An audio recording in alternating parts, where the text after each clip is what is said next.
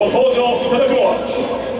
先ほどオープニングパフォーマンスを披露してくださいましたラストアイドルの皆さんです。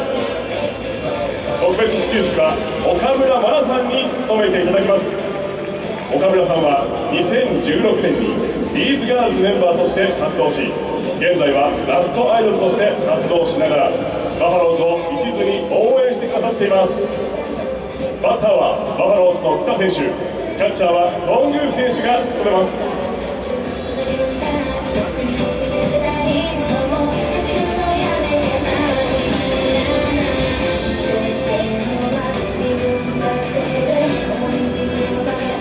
それでは参りましょう。ピッチャーラストアイドル岡村真奈。バッター来田涼斗キャッチャー頓宮優馬それでは